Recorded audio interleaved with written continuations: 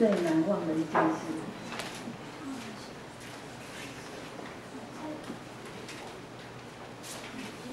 大家好，在写茶的过程中，我觉得嗯，可以帮助我忘掉一切，就是外在的一切，然后把整个心思投入在茶里面。呃，有一种就是忘我、无我的感觉在里面，我觉得很符合那个嗯禅禅的味道，禅茶合一，然后无我忘我的那种境界。谢谢。